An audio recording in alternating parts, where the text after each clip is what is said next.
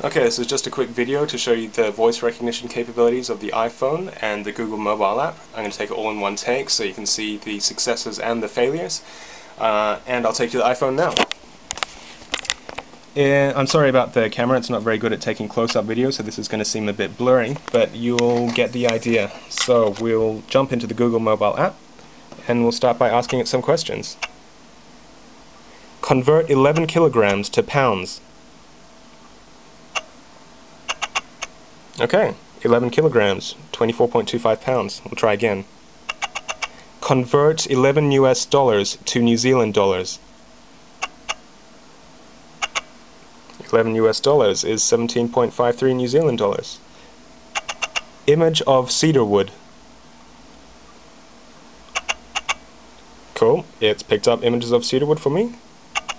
Video of Antarctica. And we've got videos of Antarctica, so those are YouTube videos. I can click through to them and it'll launch the YouTube video player on the iPhone. Uh, and a final question. Where is Auckland, New Zealand?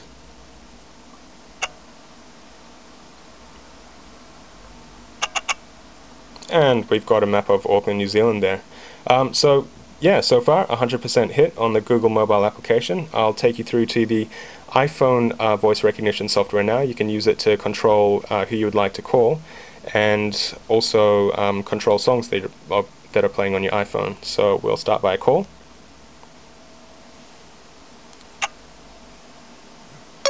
Call Wayne Anderson. Wayne William Anderson, home, mobile, or work.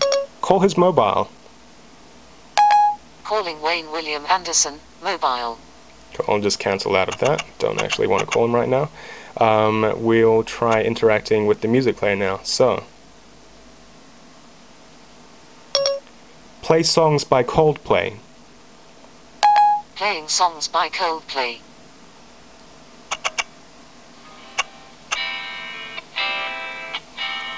Alright, don't like that song, so why don't we try going to the next track?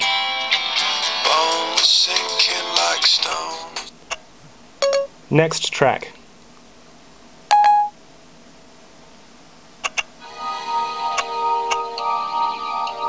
So we can ask it what song this is.